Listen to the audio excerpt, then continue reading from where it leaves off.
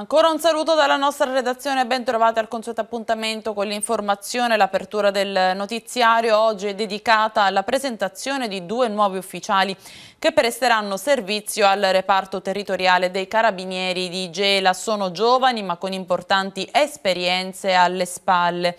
Arrivano rispettivamente da Livorno e da Roma e guideranno la sezione radiomobile e quella operativa. Sentiamo. Il reparto territoriale dei Carabinieri di Gela si arricchisce di due nuovi ufficiali. Si tratta del tenente Michele Cerri, 27 anni, nativo di Livorno, e del tenente Matteo Calcagnile, 25 anni, di Roma. Il primo comanderà la sezione radiomobile prendendo il posto del tenente Francesco Verrante, promosso al comando del nucleo operativo e radiomobile. Calcagnile dirigerà la sezione operativa. Cerri è stato impegnato negli ultimi anni in diverse manifestazioni, dall'Expo alla Val di Susa. Calcagnile invece ha prestato il suo impegno impegno al 13 Reggimento Friuli Venezia Giulia. Per i due ufficiali si tratta della prima esperienza in un reparto territoriale. La realtà gelese offre sicuramente margini per migliorare come uomo e come ufficiale carabinieri. Lei arriva da Livorno dove insiste uno stabilimento Eni, altrettanto trova Gela. Questa dell'Eni sicuramente è un banco di prova per noi come reparto perché dobbiamo mantenere comunque sia vicinanza alla popolazione, ma allo stesso tempo garantire la sicurezza all'impianto stesso dell'ENI. Quando ha saputo che sarebbe arrivato in città, qual è stato il suo primo pensiero? Il mio primo pensiero è stato subito quello di, dovermi, di sapere già di dovermi confrontare con eh, delle attività con cui finora non mi ero mai cimentato praticamente, ma solo teoricamente appunto durante il nostro corso di studio e sapevo che, che, avrei subito dovuto mettere molto impegno per eh, entrare subito nella, nel territorio e in tutte le dinamiche che ci sono a Gela e quindi imparare a conoscere subito i personaggi principali, quindi quelli su cui poi poter lavorare. L'esigenza che in questo momento sta imperversando nel territorio riguarda più che altro attività di estorsioni e spaccio di sostanze stupefacenti. A fare gli onori di casa questa mattina la presentazione dei due nuovi ufficiali, il maggiore Valerio Marra. Due nuovi ufficiali giunti, fortemente preparati e motivati, che sono stati destinati qui a Gela dal nostro comandante generale a testimonianza dell'attenzione che il vertice dell'arma riserva in una città così importante come questa.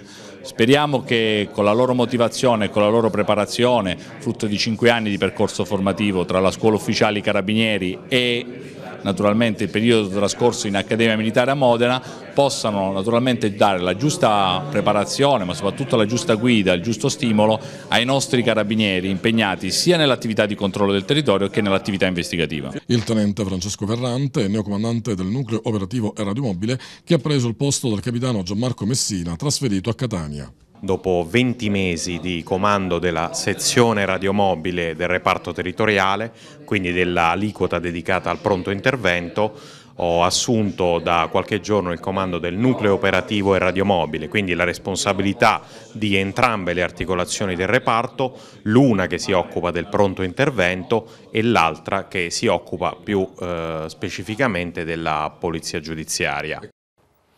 Accusava il titolare di un negozio di elettronica di avergli venduto un televisore difettoso e per vendicarsi era tornato nel centro armato di una piccola accetta e un seghetto. L'episodio si è verificato a Niscemi. A bloccare il cliente in preda all'ira sono stati i poliziotti aiutati dagli uomini del reparto prevenzione e crimine di Palermo. Il fermato minacciava il titolare e clienti presenti in quel momento all'interno del negozio brandendo, eh, brandendo l'arma. Eh, gli agenti lo hanno bloccato e disarmato. Dopo averlo identificato è stato segnalato a piede libero.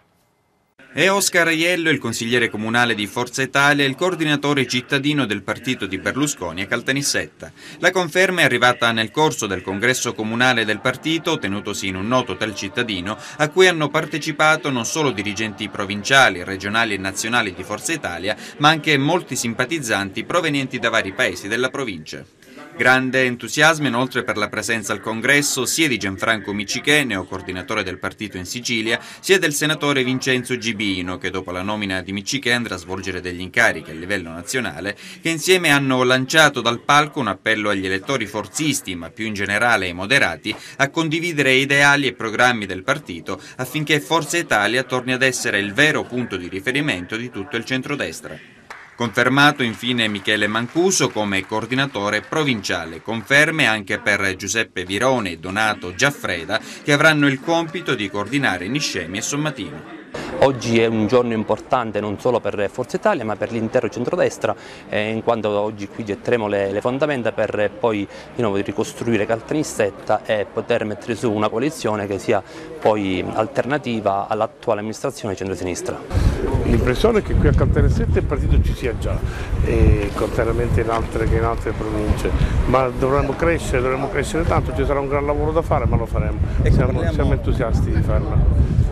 Parliamo a livello regionale, eh, lei è il nuovo coordinatore, come si muoverà il partito? Il partito si muoverà come si è mosso, nel senso che bisogna recuperare la gente, bisogna aumentare il consenso, bisogna lavorare molto. E oggi Caltanissetta e i suoi comuni della provincia hanno il coordinatore eletto dal, dal suo eh, popolo in maniera legittima. È ovvio che nell'agenda della politica di oggi la cosa più importante è quella di mandare a casa Crocetta.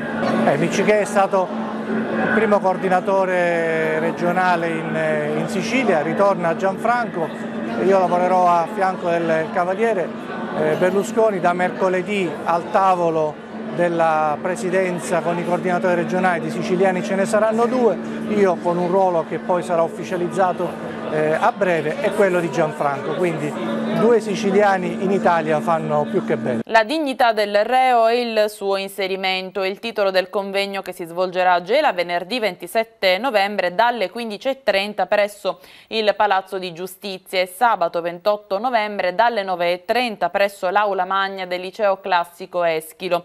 Gli incontri sono stati organizzati dal Lions Club di Gela presieduto dall'avvocato Antonio Gagliano in collaborazione con l'Ordine degli Avvocati di Gela e saranno spunti di riflessione sul volume dell'avvocato Giovanni Maria Flick, elogio della dignità. Tanti gli ospiti che interverranno nelle due giornate, i cui lavori saranno presieduti venerdì dal Presidente della Corte di Appello di Caltanissetta Salvatore Cardinale e sabato da eh, Don Giuseppe Costa, direttore della libreria editrice Vaticana.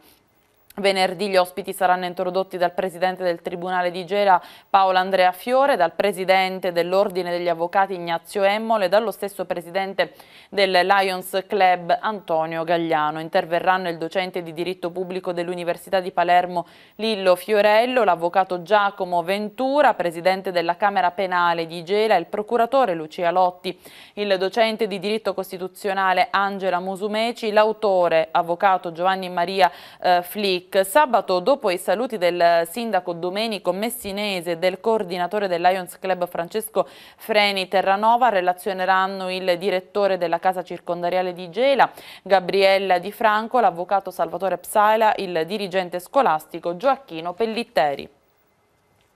E adesso parliamo del Tour de Castelli che è approdato sabato a Gela. C'eravamo anche noi. È approdato anche a Gela sabato scorso il Tour dei Castelli, progetto ideato dal Lions Club di Caltanissetta che prevede un corso di fotografia digitale nel più ampio tema eredità culturali, paesaggi, identità e visioni territoriali alla riscoperta del territorio e dei suoi castelli. Focus dei 50 corsisti turisti sul Castelluccio e sui granai ducali di Gela. Ad accogliere la numerosa comitiva l'amministrazione comunale con il sindaco Domenico Messinese e gli assessori Francesco Salinitro e Fabrizio Morello, la Proloco di Gela e gli studenti delle classi accoglienza dell'Istituto Alberghiero Luigi Sturzo diretto da Grazio Di Bartolo. Il presidente del Lions di Caltanissetta Fabiola Safonte. È un progetto molto ambizioso che il nostro club sta portando avanti in occasione del ventennale della nostra fondazione. Il club Club Caltanissette dei Castelli quest'anno il direttivo e tutta l'assemblea dei soci ha deciso di focalizzare l'attenzione sulla valorizzazione del territorio dei castelli, del territorio nisseno, sono coinvolti 13 castelli e il castello anche di Pietrapersia nonostante sia eh, territorialmente e geograficamente altra, altra, provincia. Il progetto è eh, sotto l'egida dell'assessorato ai beni culturali e all'identità siciliana in collaborazione con l'Istituto di Rocco eh, un istituto alberghiero di Caltanissetta, la sovrintendenza di Caltanissetta e il patrocinio della società dei territorialisti per il contributo e per la parte eh, scientifica. Gli obiettivi del progetto sono diversi, sono molteplici e eh, verrà realizzata un eh, volume con un, eh, un percorso turistico dei castelli presentato all'interno di un convegno che avrà dei relatori internazionali. Gela rientra in un ulteriore itinerario turistico, l'itinerario dei castelli, interessante. Sì, è interessante ed, è, ed è, mi piace intanto auguri e complimenti per il lavoro per quanto riguarda la nostra realtà. Eh, sottolineo il fatto che la collaborazione con la Proloco sta producendo dei risultati importanti eh, e eh, con la collaborazione dell'Istituto Alberghiero dove i ragazzi veramente sono encomiabili e bravissimi nel svolgere il loro, il loro lavoro. Eh, io adesso passato, siamo passati dal museo e ho visto con piacere che ci sono dei pullman che, che stanno visitando la nostra città. E, significa che siamo sulla buona strada. Alla fine di ogni escursione mi, mi inviano delle immagini e ho visto che sicuramente abbiamo già un buon, un buon numero e un, con altissima qualità delle, diciamo, delle, delle immagini prodotte. Con questo progetto abbiamo avuto modo di conoscere tutti i castelli del territorio nisseno e anche la loro storia. È molto importante per noi perché queste occasioni sono rare. La Croce Rossa Italiana di Gela organizza un corso abilitante all'utilizzo del defibrillatore operatore BLSD eh, in Italia. L'arresto cardiaco improvviso è un evento che colpisce ogni anno una persona ogni mille abitanti, un'incidenza di 60.000 casi ogni anno. Dati clinici dimostrano che se soccorse prontamente e in modo adeguato, queste persone hanno buona possibilità di ripresa. La Croce Rossa Italiana è in linea ai suoi principi è da sempre impegnata nella divulgazione di manovre di rianimazione cardiopolmonare e di defibrillazione cardiaca precoce.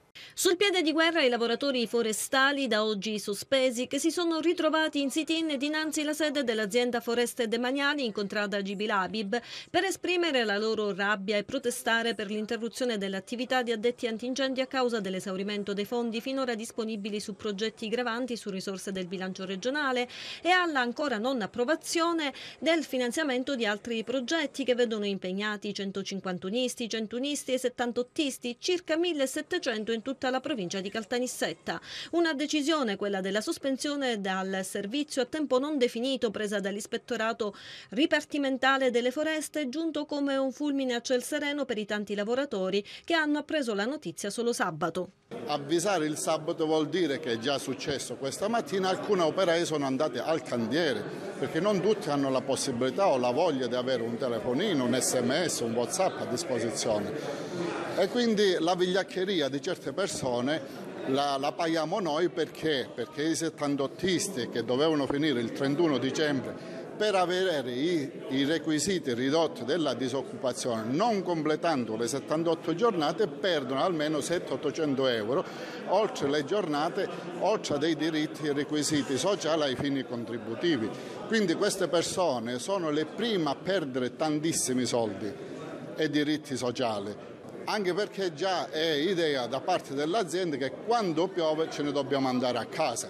A questo punto noi non ce ne andiamo a casa, manco se cadono gli alberi addosso a noi perché noi dobbiamo completare le giornate. Qual è l'intenzione del governo regionale sui lavoratori forestali?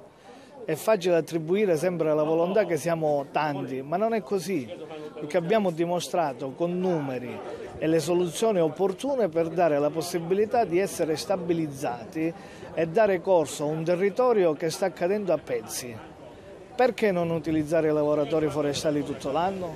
Quali sono gli interessi che impediscono questa semplice soluzione?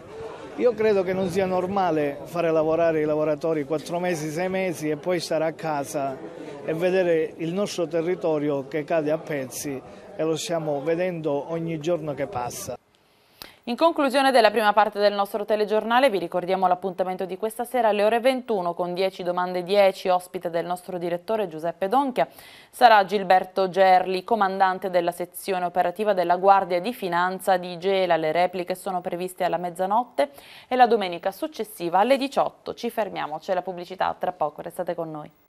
Bentornati in studio per la seconda parte del nostro telegiornale, mostra ornitologica dal 25 al 29 novembre a Gela, l'Associazione Ornitologica Gelese organizza una mostra presso la palestra del quinto circolo didattico Don Milani di Via Venezia. A margine della tredicesima mostra ornitologica, il 28 e il 29 novembre si terranno il terzo concorso di disegno per gli alunni delle scuole elementari, la prima mostra di pittura curata da Dino Lancianese e la terza mostra fotografica fotografica curata da Max Bella.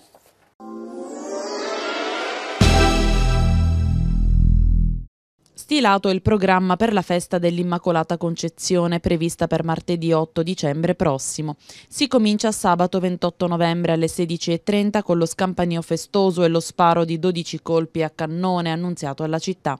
Alle 18 l'Eucarestia presieduta da Don Raimondo Giammusso nel 25 anno di sacerdozio e alle 20.30 veglia di Avvento e solenne Lucernaio animata dal movimento giovanile San Francesco.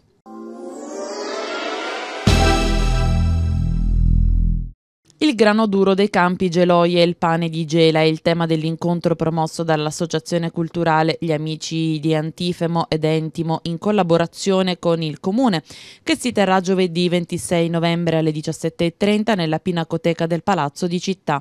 Prevista la partecipazione tra gli altri di Pippo Leonardi, primario del reparto di gastroenterologia dell'ospedale Vittorio Emanuele, e di Paolo Guarnaccia del Dipartimento Agricoltura, Alimentazione e Ambiente dell'Università di Catania.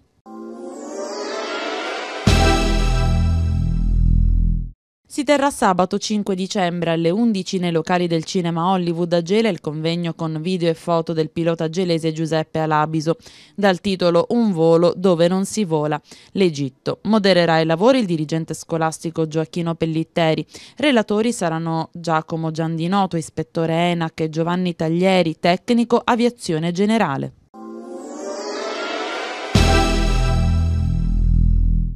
Prenderà il via il 15 dicembre prossimo la stagione teatrale di Cabaret 2015-2016 al Teatro Eschilo di Gela. Protagonisti degli eventi saranno Gianni Nanfa, Sergio Vespertino, Ernesto Maria Ponte, Lasciate libero lo Scarrozzo e Giuseppe Castiglia. L'abbonamento per assistere a tutti gli spettacoli costerà 50 euro, mentre il singolo biglietto costerà 15 euro. Il botteghino sarà aperto il venerdì e il sabato dalle 18.30 alle 20.30.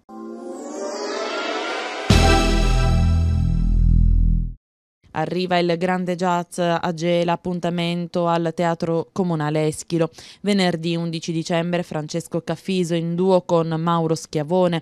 Giovedì 17 dicembre Antonella Ruggero. Venerdì 8 gennaio Francesco Buzzurro e venerdì 29 gennaio Fabio Concato. L'inizio degli eventi è previsto per le ore 21. Per informazioni bisognerà rivolgersi al botteghino dalle 17 alle 20. Per informazioni bisognerà chiamare i numeri di telefono 0933 3911892 oppure 345 5880 580.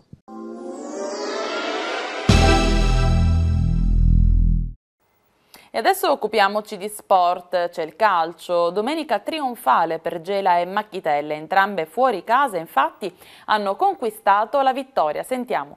Domenica favorevole per il Gela, la squadra biancazzurra torna alla vittoria, lo fa nel derby con l'Atletico Campofranco, 1-0 il risultato finale grazie al gol realizzato al 45 del primo tempo dall'attaccante Mincica, una vittoria sudata per questo ancora più bella, il successo mancava da troppo tempo in campionato ed averlo ottenuto nel derby fa ancora più effetto. Certo, eh, sì, l'importante era portare i tre punti a casa e l'abbiamo fatto secondo me giocando anche un buon calcio per 90 minuti.